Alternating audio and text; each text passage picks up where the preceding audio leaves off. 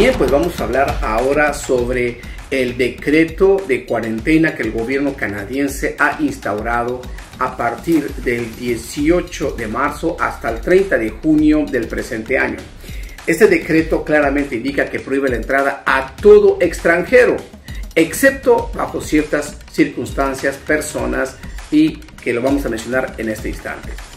Veamos que en primer lugar eh, la definición dice que todo extranjero es aquella persona que no es residente ni ciudadano canadiense ni persona a proteger. Entonces, en este caso, pues aquellas personas que no están en esta definición no podrían entrar aquí a Canadá, excepto a las personas que van a tener las características siguientes. Aquellos que han quedado en Estados Unidos o que antes de entrar a Canadá han estado 14 días previamente, ellos pueden entrar los miembros inmediatos de una familia, de un ciudadano, un residente canadiense.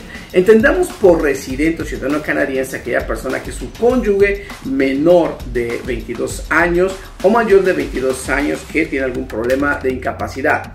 También están eh, exentas las personas que están bajo consideradas como indígenas en Canadá las personas que tengan una autorización por el gobierno canadiense previamente establecido para la reunificación de familias, se puede solicitar una autorización a su embajado consulado canadiense.